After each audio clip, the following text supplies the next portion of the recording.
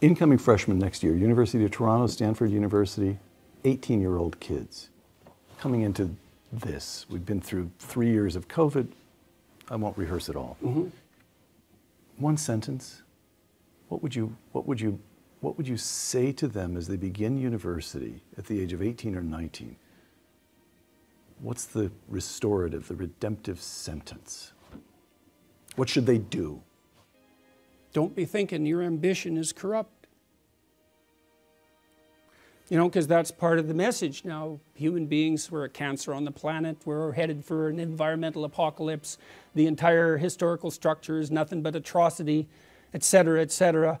Anyone with any ethical aim whatsoever is just going to pull back. You don't want to manifest any ambition, support the patriarchal structure, exploit the environment. You've got to crush yourself down. You shouldn't even have any children. It's like, no there's no excuse for that. There's zero excuse for that. I saw a professor at, at an event, something like this. He came out and trumpeted this bloody, environmentally friendly house he'd built. And, you know, fair enough, man. It was a, it was a pretty interesting house, but not everybody had the $4 million that, that it took him to build it. And I'm not criticizing his money, even. It's like, he's had some money. Good for him. He built a house. Okay. But then to trumpet that as a moral virtue, well, you're pushing it there. And then he came out to all the kids and he said, You know, my wife and I decided that we were only going to have one child. And I think that's one of the most ethical things we could have possibly done. And I would strongly encourage you to do the same. I thought, You son of a bitch.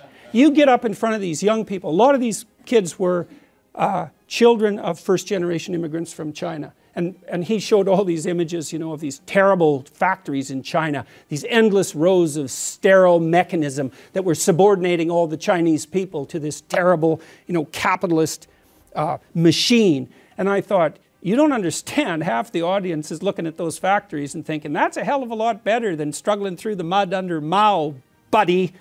And so he, I don't know where he thought he was, but to come out in front of all those kids and basically tell them that the whole human enterprise is so goddamn corrupt that the best thing they could possibly do is limit their multiplication, and to think of himself as a scholar and an educator was just, I did say something, by the way. It was rather uncomfortable, and he stomped off the stage. But that's no message for young people.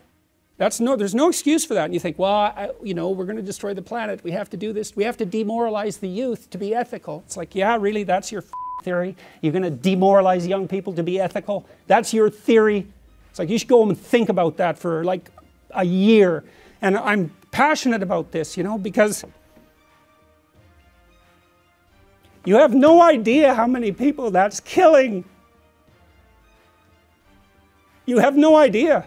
I see people everywhere, all over the world, they're so demoralized, especially young people, especially young people with a conscience because they've been told since they were little that there's nothing to them but corruption and power. It's like, how the hell do you expect them to react? You know, they, well, I shouldn't do anything then, you know.